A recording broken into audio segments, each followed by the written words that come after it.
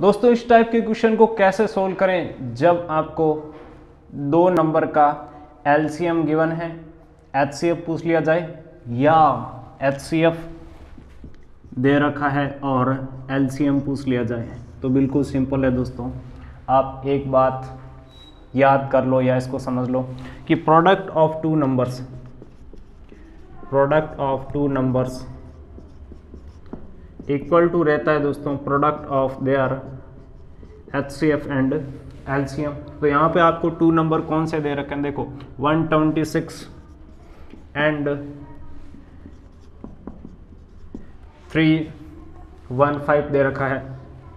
इसी के साथ आपको यहाँ पे क्या गिवन है? इफ़ द एलसीएम ऑफ़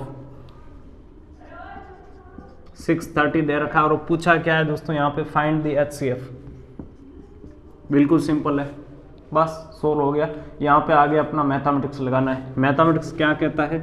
बराबर के इस साइड यदि कोई संख्या मल्टीप्लाई में है, दूसरी साइड जब लेकर आएँगे तो वो किसमें? डिवाइड में आ जाएगी। ये यहाँ पर मल्टीप्लाई में है।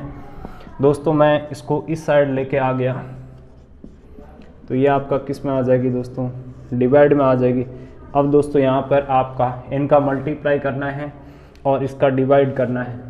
ओके? जब आप डिवाइड करेंगे तो आएगा दोस्तों यहाँ पे आपका 63 ओके? डायरेक्ट डिवाइड कैसे करते हैं, वो भी देख सकते हैं आप, इसको ऐसे भी समझ सकते हैं। यहाँ पर दोस्तों, ये आपका तीन से कटेगा। इसको देख लेते हैं, ये भी आपका तीन से कटेगा। ये तीन से कटेगा आपका दो बार एक बार और ज़ीरो बार ठीक है?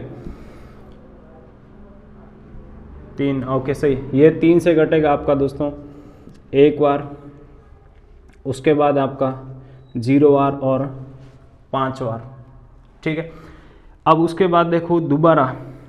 यहाँ पे ये आपका पाँच से कटेगा, ये भी आपका पाँच से कटेगा, ये पाँच से कटेगा दोस्तों आपका। चारों पंजा आपका बीस और बयालीस बार, ठीक है? दस और ठीक, ओके। ये आपका पाँच से कटेगा कितना? दो बार और कितनी बार? इक्कीस से। ये कितनी बार कटेगा दोस्तों आपका? दो बार। और दो से ये कितनी बार कटेगा? सिक्स बार और थ्री बार। आंसर कितना आ गया दोस्तों आपका? Sixty three. ओके, आपको जैसा अच्छा लगे वैसा सोल्व करके, उस तरीके से सोल्व करके अपने क्वेश्चन को आसानी से हल कीजिएगा।